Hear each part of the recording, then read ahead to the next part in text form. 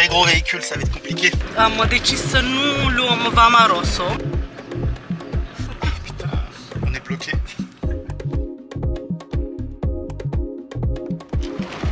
Bine ați venit în Parcul Național Diaoling, să zic cum. Tiens, oui. Păi, uh, sudul Mauritaniei, cam la 70 de kilometri de la frontiera cu Senegal. Am decis să nu luăm Vama Rosso și am decis să luăm traseul prin uh, acest parc. Ne duce spre Vama Diama și din câte am înțeles, una la mână e foarte frumos pe aici și a doua la mână am înțeles că e mai ok la trecerea frontierei. Ils arrivent pas à passer.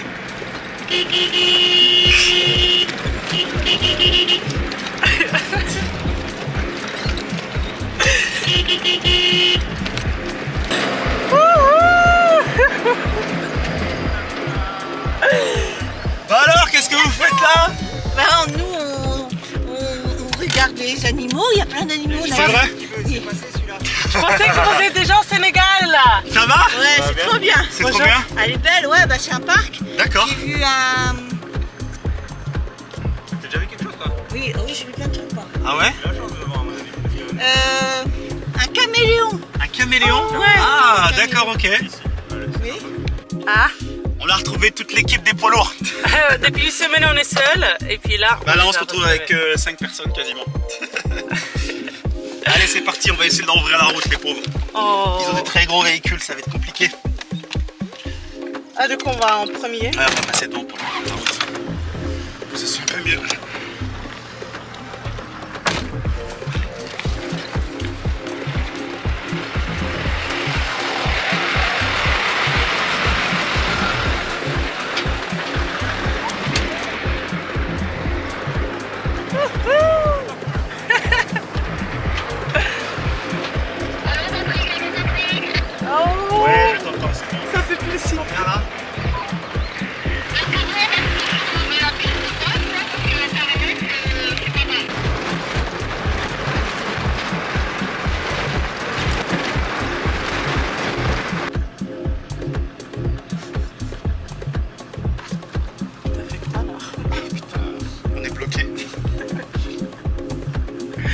La voiture elle glisse, faut plus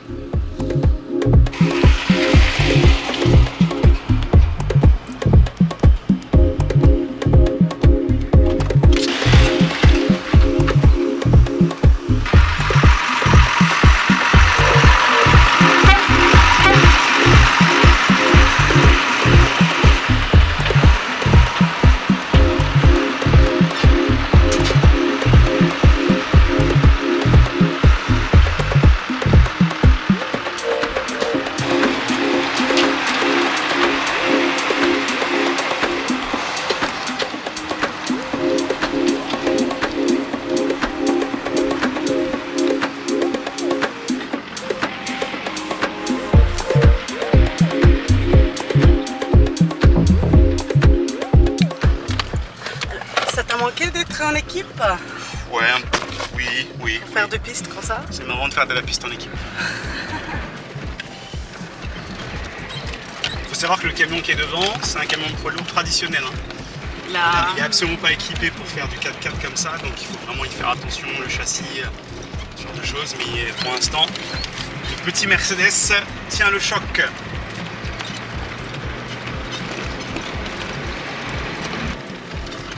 Et là, on a même un van aménagé. Celui qui me dit qu'il ne veut pas faire l'Afrique parce qu'il a un van aménagé, vous avez la preuve euh, devant vous, il fait de la piste. Dovada e că nu vă trebuie un 4x4 ca să faceți traseul ăsta, Africa. Din câte am înțeles, ăștia din față nu au uh, un plan uh, bine definit. Ei au zis că se duc până unde reușesc. Până unde se poate. Când nu se mai poate, se întorc. Așa că au mult curaj. Fleuve Sénégal.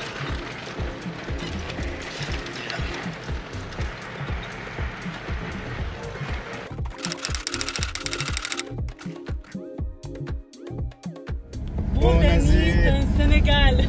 Bienvenue au Sénégal.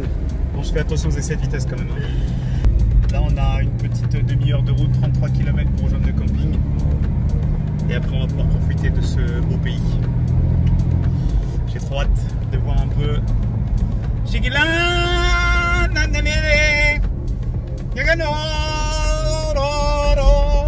sais pas si c'est les bonnes paroles, mais c'est ce que m'inspire ce pays.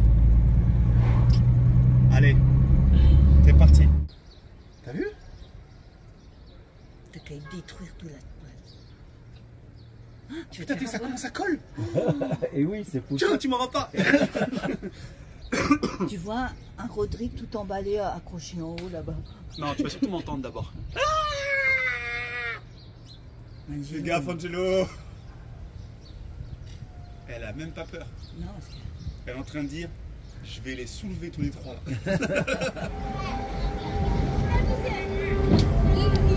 Coucou les amis. Un peu particulier puisqu'on s'apprête à prendre un bateau pour aller se rendre sur l'île de Gorée, qui est un lieu un petit peu euh, symbolique pour, euh, pour des temps un peu sombres. On va aller rendre hommage aux ancêtres. Chose très compliquée qu'ils ont vécue. Donc on va aller.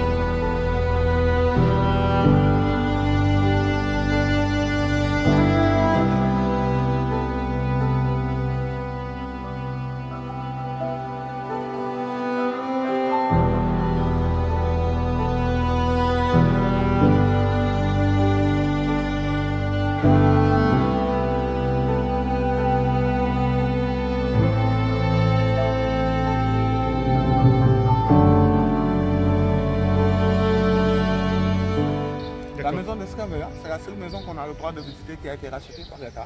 D'accord.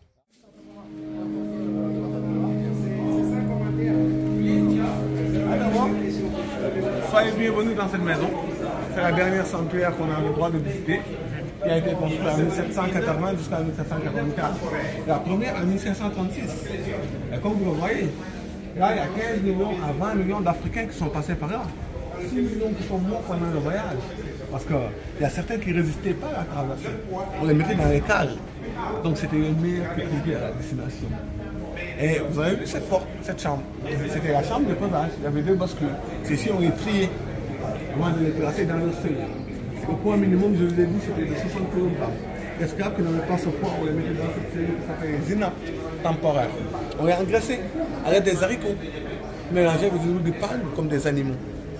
Et l'esclave, qui avait plus de 60 kg, regardez ici, en attendant qu'il suit un régime, au moins trois mois et demi. Pour les faibles, on ne les embarquait pas. On les bazardait dans les maisons comme des domestiques. Il y avait cinq cellules pour hommes. Et là, ce sont des cellules de 2060 sur 2060. On garde ici 15 à 20 esclaves, attachés au bras, au cou et aux deux pieds. Assis dos contre le mur pour gagner de la place. Ces pauvres ont été libérés une seule fois pour satisfaire leurs petits besoins. Manger, aller aux toilettes. Cette maison n'avait pas d'hygiène.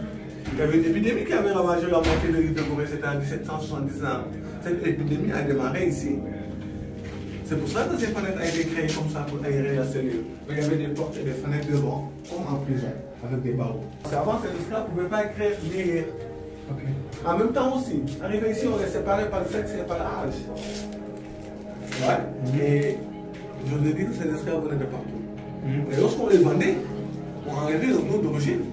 Ces esclaves partaient avec des matricules. Ils ont fait rouge, on peut chauffer, on les envoie au dos comme des bétails. Pourquoi? On ne voudrait pas demain ces esclaves avoir des traces euh, d'origine jusqu'en Afrique. Parce qu'en Afrique, si vous disiez le nom de votre famille, on sait où vous appartenez.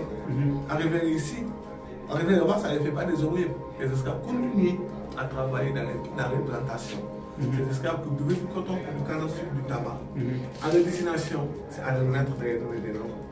Parce que les esclaves qu'on vendait au Cuba, on les donnait des noms espagnols. Brésil portugais, États-Unis anglais, Caraïbes, Haïti, des noms français. C'est ça qui avait amené que moi, comme ça avait refusé de recevoir hein, un nom étranger. C'est pour ça que c'est ça qui a amené moi son nom Malcolm, son nom de famille c'était X. L'homme, on est troqué avec des fusils des barils de poudre. Ces poudres, c'est ça qu'on utilisait comme munitions. L'enfant, on est troqué avec un tabac ou un miroir. La jeune fille, c'était sa virginité. On est troqué avec des barils de vin ou des barils de. Voilà. Et pourquoi les enfants?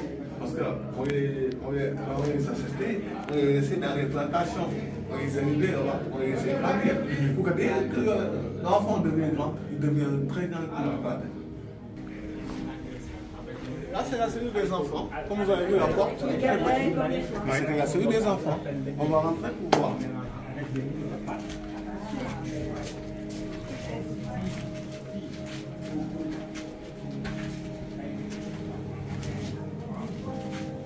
Vous avez vu cette petite cellule? Il mesure que 7 mètres de longueur, 1 mètre 20 de largeur. Regardez ici 30 à 35 enfants allongés sur le sol. On les arraché de mouvement de force, on les a ici. Les enfants jouaient à l'intérieur. Les noirs pleuraient, les noirs criaient. Et le taux de mortalité était très élevé dans cette chambre, dans cette maison. Parce que les enfants étaient très fragiles. Vous voyez les deux fenêtres qui aéraient tous les autres cellules qui, qui, derrière vous. Ouais. Ces esclaves ne pouvaient pas se communiquer. Parce qu'avant, on ne nous avait pas encore colonisés. Chaque pays avait sa propre langue. Ok. Ouais. Donc ils peuvent s'organiser, tout ça, Ouais. si là, là c'est jeune fille. La valeur marchande d'une jeune fille, c'est que sa virginité. Ceux qu'on sélectionnait de 12 à 16, on les gardait ici. On les protégeait bien. Devant, il y a un, il y a un dalle. Il y avait des toilettes turques qui communiquaient carrément sur la mer. C'est la seule série qu'on trouvait des toilettes. Parce que dès que la jeune fille sortait, on pouvait violer. Il y avait beaucoup de viols dans cette maison. Et en même temps aussi, le balcon était habité par des marchands d'esclaves. Ces marchands d'esclaves ne venaient pas ici avec épouse. Chaque soir, ils descendaient, ils buvaient beaucoup d'alcool, ils descendaient pour venir chercher leur femme du soir. Ils les violaient même. Quand on constatait que la jeune fille était en grossesse, on les laissait en semi-liberté. Sur place, dans l'île de Gorée ou à Saint-Louis du Sénégal. C'est une prison dans une prison. Ouais. En force de rester ici à l'intérieur longtemps, comme ça. On les gardait comme ça, à genoux comme ça. Pour la durée, ça dépendait de leur faute. Mais quand ils sortaient, il y avait des maux de dos, des maux d'articulation, et un problème de vision, c'est très noir. En même temps aussi, on gardait ici 5 à 6 maximum. Pour la durée, ça dépendait de leur faute. On avait le privilège d'accueillir ici Nelson Mandela. Il est sorti en prison en 90. Mais il est venu ici en 91. Mais avec le protocole, il a insisté de rentrer à l'intérieur. Il a resté 5 minutes. Il est ressorti avec les larmes. On a posé la question, il a dit que ça lui fait penser lorsqu'il vivait pendant les 27 ans en prison à l'apartheid. Il avait dit qu'ici c'était la capitale de souffrance. Il a dit que nos anciens martyrs, ils ont beaucoup souffert dans cette maison. Vous vu la forme de la maison des esclaves avec les deux escaliers? Ça vous donne comme une à cheval. Avant, c'était les marchands d'esclaves qui habitaient en haut, les esclaves habitaient en bas, 150 à 200. Chaque soir, on les laissait sortir. Ils croyaient qu'on les laissait pour se promener. Donc, on les laissait pour mieux choisir. Lequel? Ouais. La commerce, ça se faisait au milieu des deux escaliers. D'accord. Si l'esclave est déjà, est déjà vendu, on regarde dans les deux couloirs opposés. Il s'appelle les salles d'attente. Un mois à trois mois et demi, parce que le bateau faisait le trajet un mois à trois mois et demi, parce que c'était la commerce triangulaire. Il quittait en Afrique et allait en Amérique, après en Europe. Ouais. Un mois à trois mois et demi, les esclaves attendaient ici. Là, on les gardait ici pour les préserver des autres, parce que de l'autre côté, il y avait beaucoup de pestes et beaucoup d'épidémies. Prêt à la porte, prêt à partir. D'accord. Et là, vous avez vu, il y a 15 millions à 20 millions d'esclaves qui sont passés par là. 6 millions qui sont morts pendant le voyage. Parce qu'avant, on les maltraitait, on les mettait dans le cadre. Donc, c'était les meilleurs qui arrivaient à la destination. Vous avez vu cette photo? Ici, on est attaché, on les fouettait, ça déchirait les chairs. Et c'était des esclaves, des Africains qui faisaient ces sales boulots. Mais ces Africains n'avaient pas le choix. Parce que les Africains ne voulaient pas être vendus. Il y avait des jeunes filles qui étaient là, qui étaient en grossesse, mais qui ne voulaient pas obéir. On ne pouvait pas les laisser en semi-liberté. Non plus, on ne pouvait pas les attacher. Mais ces jeunes filles creusaient le sol pour faire un trou, protéger leur grossesse et recevoir un 29 coups de feu sur le dos. Parce qu'on ne voulait pas que ça déborde, ça déchirait le chair. Ça, ce n'était pas de l'esclavage, c'était la traite des Noirs. Cette traite, c'est un génocide que l'humanité n'a jamais connu. Il y a des innocents qui sont morts ici, au temps de la honte. C'est difficile. Hein. Ouais. Je sais pas comment tu fais pour faire comprendre ce que tu dis? Je sais pas comment tu fais. Ouais, mais comme moi, je suis né ici. Et presque. Peut-être toi, c'est la première fois que tu es né ici. Mais moi, je suis né ici. Depuis enfance, je suis là. On avait le plus vieil quelqu'un ici, Pape Jean-Paul II, le 22 février 1992. Il a fait une messe de deux heures à l'église. Il a fait sa prière. Il a demandé pardon au nom de tous les églises catholiques. Pourquoi? C'est l'église catholique qui a. Ouais, parce qu'il y avait beaucoup de missionnaires catholiques. Ils ont beaucoup participé à la vente de l'esclavage. Il a demandé pardon à l'Afrique. Il a dit que l'Afrique doit pardonner. Et chacun oublié.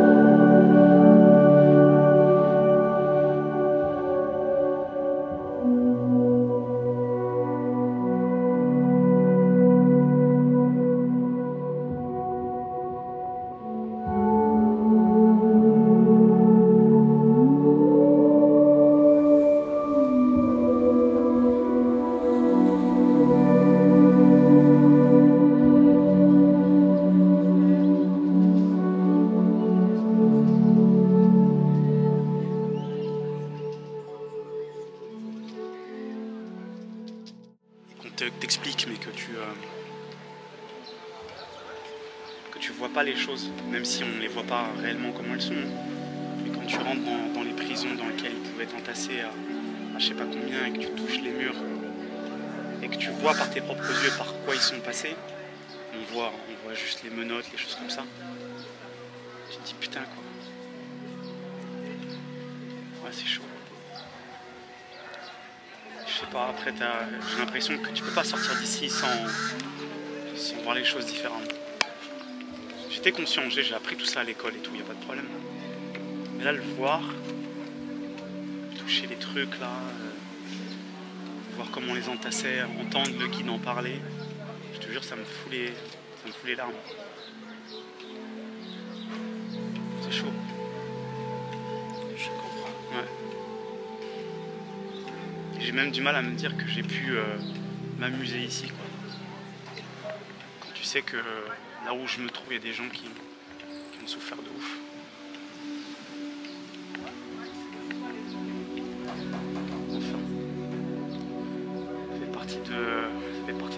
Il faut que je le prenne et que je me serve. Dans les moments où je vais me plaindre, je pense. Je peux pas me plaindre. Papa.